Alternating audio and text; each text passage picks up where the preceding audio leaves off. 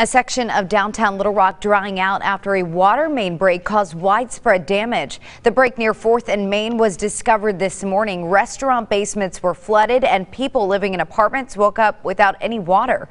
Katrin Asaf is live in downtown Little Rock with what the area is looking like tonight. Katrin.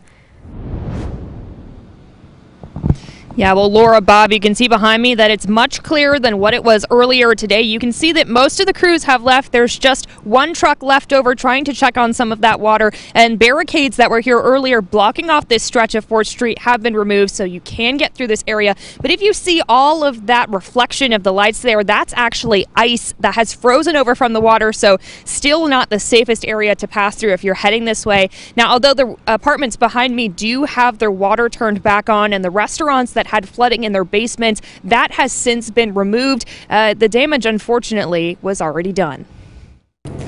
Just the front, it's, it's, it's bad. When Noah Childress parked his car in this garage off of 4th Street in Little Rock, he assumed it would be safe from the snowmageddon hit in Arkansas. Completely trashed.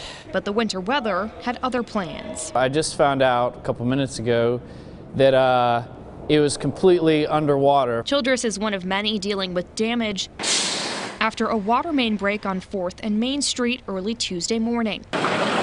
Freezing temperatures caused the line to burst, flooding restaurants and parking garages as Central Arkansas Water scrambled to stop the flow.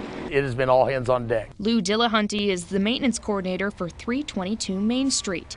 He discovered the water Tuesday morning, hours after the leak first happened. We had about four feet of water in, in the basement of one of the areas. A similar shocking discovery to Childress, who discovered the damage minutes before we arrived. I've had about 20 minutes to like process. Oh no, I've got a ton of paperwork in there. Although the water had turned to ice long before Childress checked on his car, he was left with frosty windows Attention car owner. And a note left on his windshield from the water company telling him his car had been flooded. I thought I might have a ticket or something on top of it, but no. But nothing left to do but wait and assess the damage. Just tons of beans and rice and it's just waterlogged. Childress and others at this busy intersection are left trying to dry out and hoping this doesn't happen again.